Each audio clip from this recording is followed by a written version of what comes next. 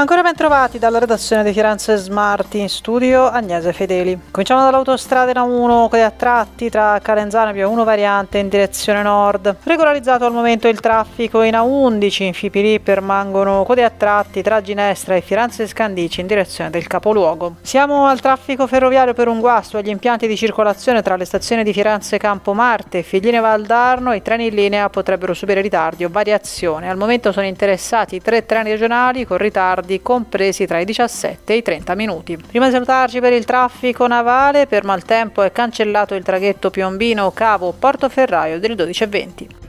Muoversi in Toscana Info è un servizio in collaborazione con Regione Toscana, Città Metropolitana di Firenze e Comune di Firenze. Per ora è tutto, buon viaggio!